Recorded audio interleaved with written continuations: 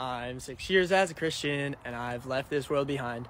There's this guy, his name is Jesus, and he literally changed my life. And it really sits with me quite right because he knows what's best for me in my life. And I never go back to the life that I lived because he paid the ultimate price.